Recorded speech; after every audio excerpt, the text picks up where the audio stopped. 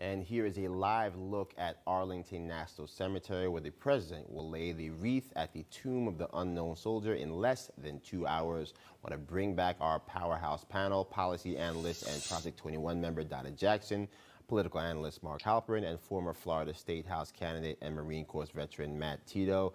Good morning to you all. Want to start uh, by talking about the tragic events down in Florida. Two people were killed, at least 20 others were injured after a shooting at a nightclub in Miami City. And this is a, a country, we've seen a rise in gun violence. Uh, here's the reaction from the police chief my worry, and I think the worry of my colleagues across the country, is that as we continue to talk about uh, mm -hmm. uh, defunding the police yeah. instead of uh, instead of uh, uh, making the police better and investing on good policing, uh, and on the right, we're talking right. about you know more guns for Chief. everybody. it's going to be a long summer. Now, Mark, you know, do we have a problem here? We've seen homicide rates spike all across this nation, state to state, city to city, in places where police have been defunded. Uh, we have those retention rates for existing police officers going uh, down, more police officers choosing to retire early. Uh, we have more difficulty recruiting new people to join the police force in an environment where law enforcement seems as if they've been cast aside, disrespected by society. How do we square this problem and fix this problem to bring the resources to an issue we desperately need to fix at a time when it looks like we're preparing to be uh, quite a dangerous summer? Joe, this is a big challenge for the country right now because the divisions are so stark. You have left and right, red and blue, with much different perceptions about how to solve this problem, how to address it, rather than the kind of consensus that would address both uh, the, the spate of gun violence as well as the need to make sure we have good policing in this country. There is a bill in Congress that's being negotiated. Let's see if they can get it out of uh, the negotiations into the president's desk, uh, despite all those divisions. Now, Matt, I'll come to you because it seems to me that there are lots of issues uh, that people seem to be missing the mark on. We've got a rise in violence on airlines. Southwest wants to blame the alcohol. We've got a rise of gun violence in the streets people on the left want to blame the guns.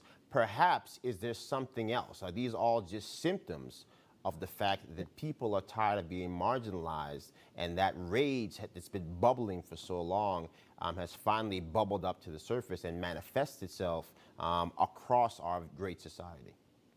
Yeah, I think it's a combination of all those things. And it's people have been home for the past year and a half with the COVID lockdowns and you know, a lot of these people are coming out of their homes for the first time. And you even saw at the NBA game, game last night with the Brooklyn Nets, Kyrie Irving walking underneath the tunnel, getting a water bottle thrown at him.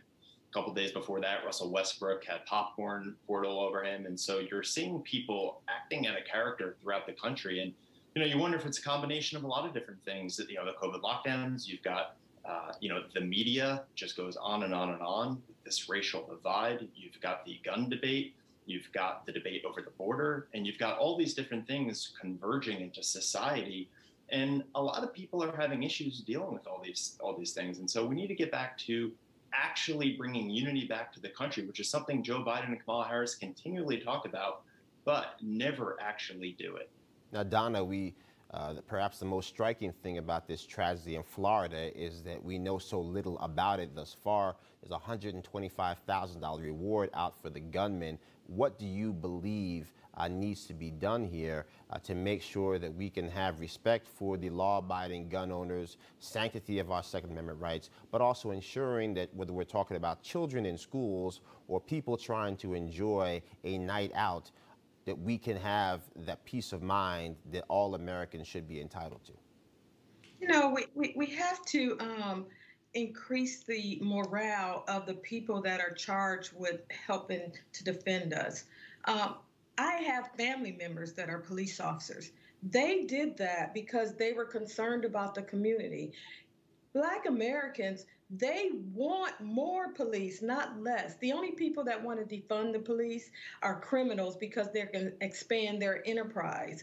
You know, it's important that we give everyone the resources that they need and not vilify anybody or blame someone based upon a a symptom and not the real root causes. Second Amendment rights is black history because we know from civil right from the civil rights era all the way down to after you know uh, after the civil war that the african americans that had the largest survival rates were ones that owned guns. Everybody in my family is a gun owner. So I think that, you know, uh, trying to pinpoint one thing is not the answer.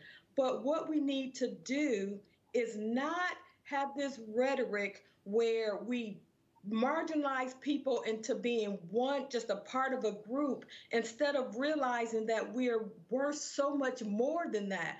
But right now, you know, the media has everyone thinking that everyone is their enemy.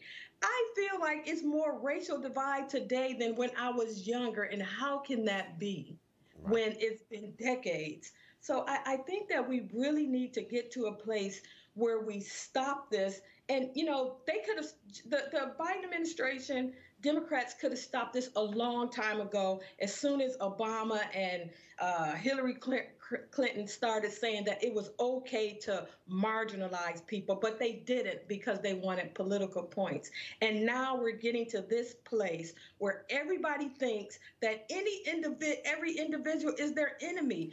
Every white man is a criminal for most black Americans now. How is that when we had abolitionists that helped African Americans in the right. Underground Railroad long before Harriet Tubman came along? So we need to rewrite history the way it really is and let people feel pride and feel good about who they are and who feel to feel good about who their neighbors are.